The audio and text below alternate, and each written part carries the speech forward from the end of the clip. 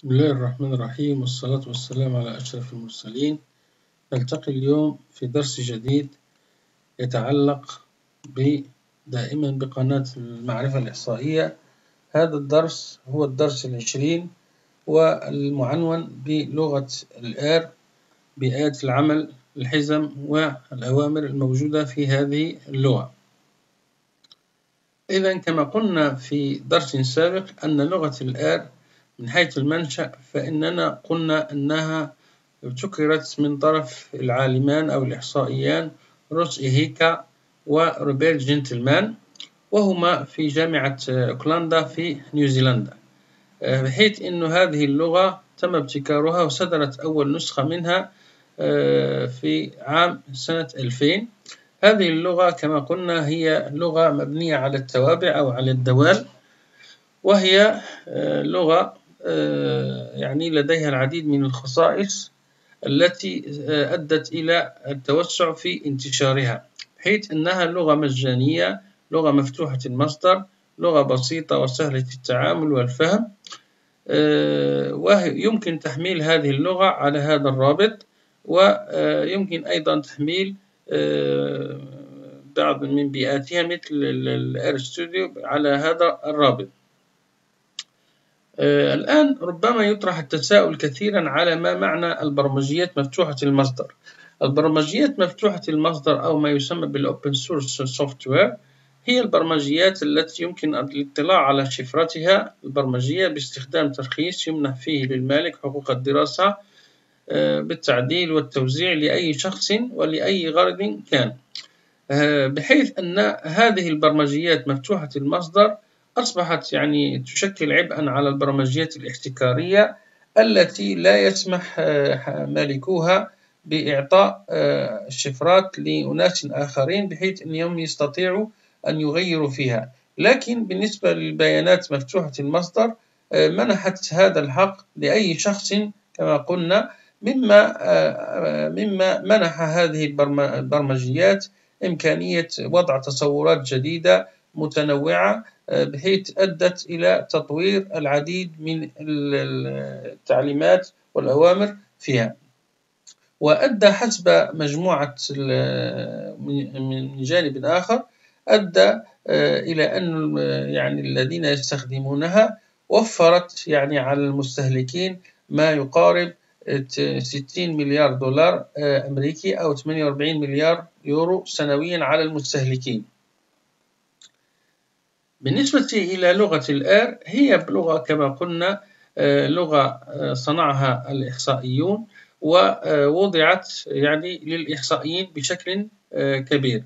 لهذه اللغة الكثير من بيئات العمل أو ما يسمى بال workspace أشهر هذه البيئات الآن حاليا هي ال RStudio وال R Work ال RKWard و Tinn-R وال R Commander بحيث أنه أشهر واحدة فيهم هي ال RStudio يمكن تحميل طبعا هذه البيئات العمل من من النت ويمكن استخدامها. لماذا خلقت أو لماذا جاءت هذه وأنشئت هذه البيئات؟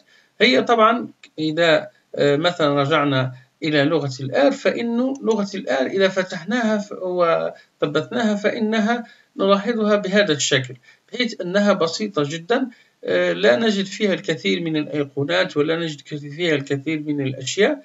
ولذلك فإنه بالنسبة إلى المبتدئين تبدو أنها معقدة بحيث أنه لا يستطيعون العمل بها. لذلك تسهيلا لهذا الشيء فإنه تم ابتكار ما يسمى بيئات العمل.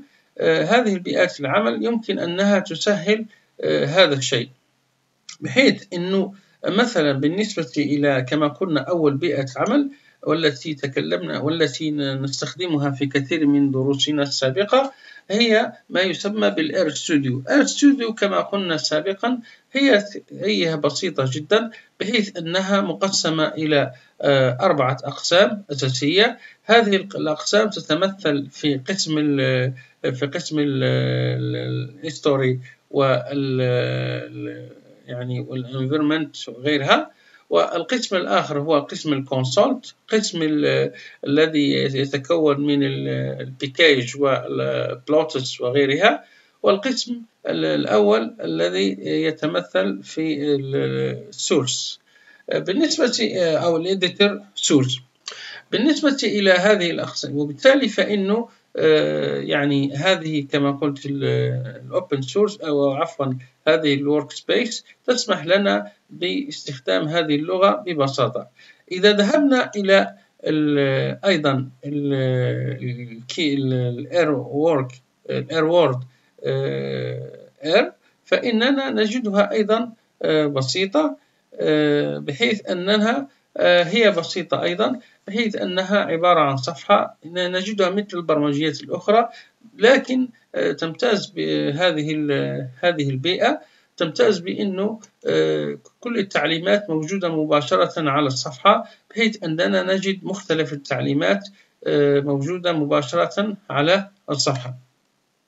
إذا ذهبت إلى برمجية تي ان ان التي أيضا يمكن تثبيتها مباشرة فإنه أيضا نجد مختلف تعليماتها. هي موجودة مباشرة أيضا على على على الواجهة بحيث أننا نستخدمها وهي تستخدم طبعا تعليمات وحزم ال R برمجية ال R.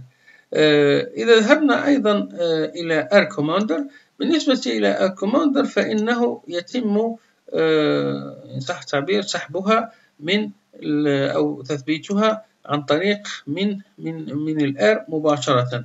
بحيث أننا يعني إذا أردنا أن نسحبها من ال R فإننا نستخدم التعليمة التالية. إذا نذهب إلى يعني سأخذها مثلا من برمجية ال R. هي تستخدم ال R ال R Commander نختصرها بهذا الشكل بحيث أننا نستخدم هذه التعليمة. بحيث أن هذه التعليمة مباشرة نثبتها نذهب إلى برمجية الآر ومباشرة يعني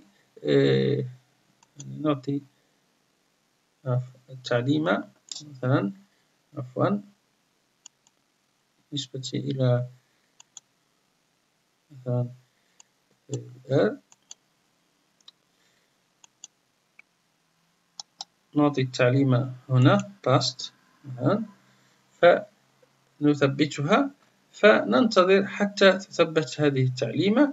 آه، ثم بعد ذلك فإننا نستدعيها عن طريق library هذه الطريقة أو أننا آه، يعني آه، يعني library مباشرة بين قوسين ونضع air commander بهذا الاختصار. أو أننا وهنا, وأنا طبعا هنا هي مثبتة موجودة مباشرة على لغة الآر فنذهب مباشرة إلى البيكيج فنذهب إلى loud package نذهب وسنجدها هنا air commander. نذهب إلى air بس فقط. فسنجدها r cr air commander. فنضغط عليها مرتين أو نضع OK فستظهر لنا مباشرة على شاشة أو على برمجية الآر انتظر قليلا فقط.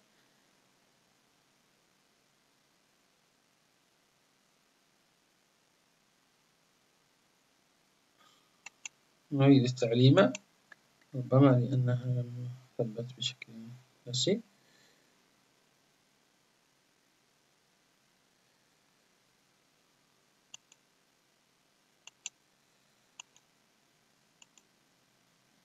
إذا R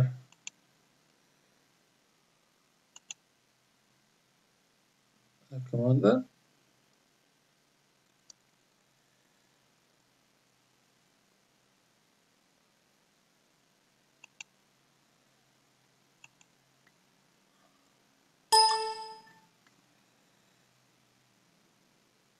إذا قيل نوعا ما.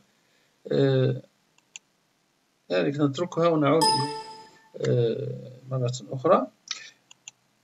إذا بالنسبة إلى R Commander هي أيضا ستعطينا آه، مباشرة يمكن استخدامها مثل هذه بيئات العمل. إذا بالنسبة إلى هذه البيئة طبعا إلى كما قلنا أن أحسن بيئة من بيئات هذه العمل هي ستوديو التي استخدمناها في مختلف الدروس السابقة والتي يستخدمها الكثيرون عندما يقولون يعني مباشرة أننا نستخدم ال R فهم يستخدمون آه، بالضرورة ال R Studio.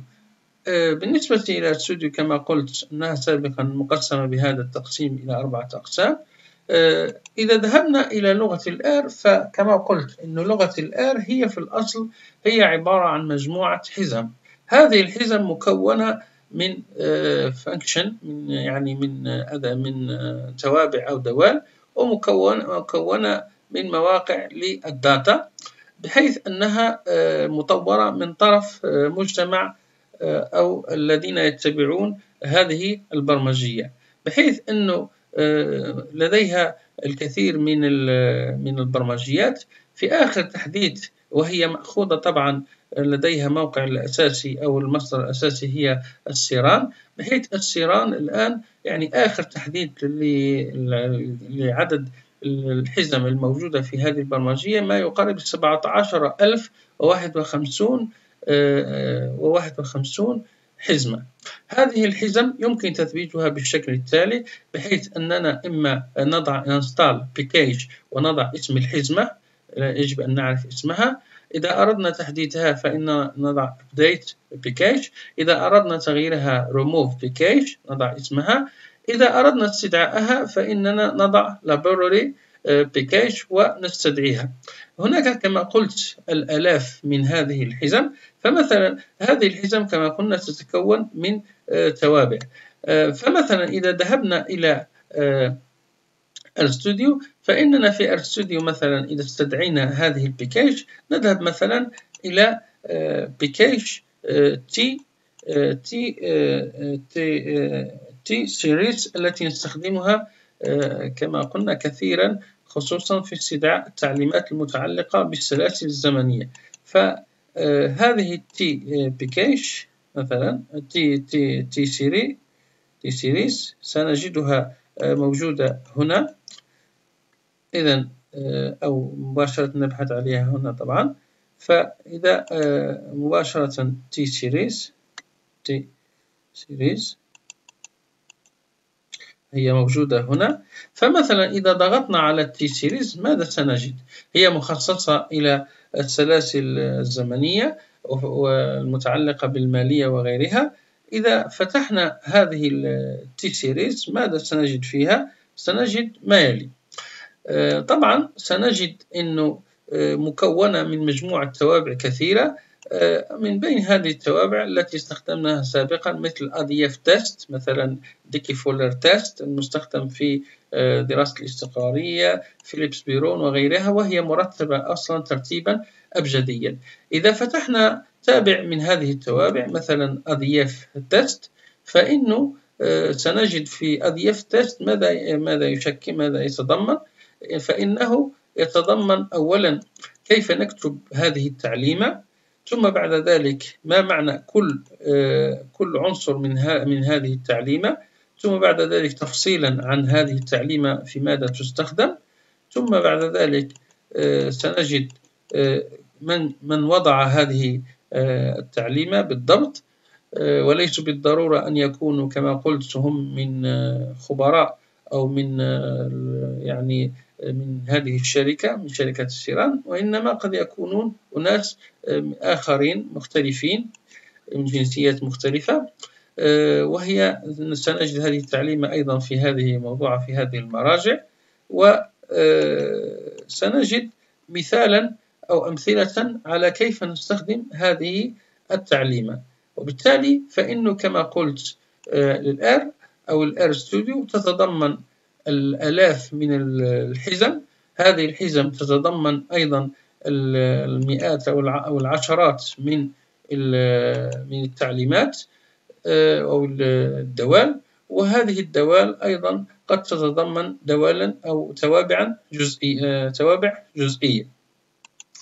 الآن إذا ذهبنا إلى آه، مجتمع أو ما يسمى أتباع لغة الآر الآن كما قلنا بما أنها هي لغة حرة وهي مفتوحة المصدر فإن لديها الكثير من الأتباع. هؤلاء الأتباع يمكن أن نجدهم على موقع التواصل تويتر وهم يعني مختلفون. من بينهم مثلا R Ladies من بينهم R Weekly من بينهم أيضا R Bloggers وأشهرهم أيضا Stack Overflow بحيث Stack Overflow هو عبارة عن ماذا؟ هو عبارة عن موقع يمكن لأي شخص معين لديه إشكال معين أو لديه سؤال حول لغة الآر فإنه يضع هذا السؤال في هذا الموقع فإنه يجد الكثير من الإجابات آه، حوله من كثير من المختصين وغير المختصين هذا المجتمع طبعا أو هؤلاء الأتباع الذين آه، الذين الموجودين على مواقع التواصل الاجتماعي وغيرها والذين لديهم مواقع خاصة هم يحاولون تطوير واقتراح آه، ما يحسن هذه البرمجية. لغة الآر طبعا في بنية البيانات فيها فإن بياناتها آه، هي عبارة عن بيانات إما رقمية أو عبارة عن سلاسل زمنية أو عبارة عن آه، قيم آه، منطقية يعني نستخدم فيها المنطق نعم أو لا وغيرها. no أو no أو yes وغيرها. بالنسبة إلى بياناتها فإن بياناتها إما عبارة عن des vecteurs يعني عبارة عن أشعة أو matrice matrix أي مصفوفات وقد تكون عبارة عن array اللي هي هي أشياء نوعا ما مميزة بالنسبة إلى هذه اللغات. أو لغة هذه اللغة مثل array وهي إذا ترجمناها إلى العربية هناك بعض الكتب تترجمها إلى الصفية وهناك ما يسمى بال data frame وما يسمى بإطار البيانات وهناك ما يسمى ب list أو القوائم. طبعا فإنه آه، البيانات آه، يعني هذه الأنواع من البيانات لا تخرج عن هذه الأطر من من من البيانات. ونحن كما نعرف مثلا في برمجية الإكسل وغيرها آه، غالبا ما نستخدم الماتريس فقط أو الشعاع يعني لدراسة هذه البيانات. لكن هذه ال هذه ال هذه البرمجية تستخدم العديد من الأنواع من البنى أو البنيات أو الهياكل وضع البيانات. بالنسبة للعملية الجبرية أو الدوال التي آه، أو الرسوم البيانية التي توضع في لغة الآر فإنه آه، هناك العديد من طبعا من التعليمات ربما يأتي دروس أخرى لشرحها فإنه هناك العديد من المعاملات أو العوامل التي نستخدمها وهي المعتادة في الرياضيات آه، بحيث أنه آه، يعني لديها خصوصيات معينة في هذه اللغة آه، طبعا وهذه خاصة بكل لغة حيث نستخدم هذه ليزوبيراتور هذه التعليمات أو العوامل. وكما قلنا أنه تستخدم الكثير من الدوال بحيث أنه هذه الدوال آه، يعني من بينها مثلا القيمة المطلقة كيف نقيس القيمة المطلقة آه، كيف نقيس يعني اللوغاريتم ال exponentielle الدالة الأسية الجذر التربيعي آه، sinus الجب أو التجب وغيرها ال tangente الظل أو التظل وغيرها من هذه الأشياء. فإنه هي بسيطة جدا بحيث أننا نضع مباشرة اسم التعليمة ثم بعد ذلك بين قوسين اسم يعني تلك مثلا تلك المتغيرة أو ال data. فتعطينا مباشرة النتيجة. وهي تعمل يعني هذه البرمجية على أساس سواء ستوديو أو R أو غيرها تعمل على أساس أنه آه، كأنه نعطي سؤال فيعطينا مباشرة تحته الجواب وهكذا. كذلك كما قلنا أنه آه، تستخدم العديد من الرسومات البيانية بحيث أنها كذلك هي عبارة عن دوال بحيث مثلا إذا أردنا نرسم ال histogramme فإننا نضع فقط اسم تعليمة ال histogramme المدرج التكراري image box plot إلى غير ذلك. فهذه مختلف الأشياء.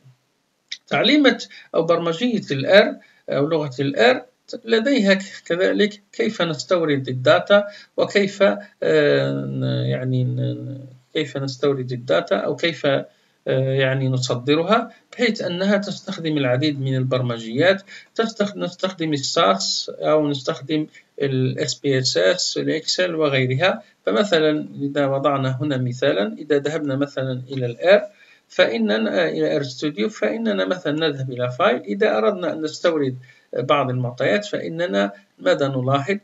نلاحظ أنه import dataset.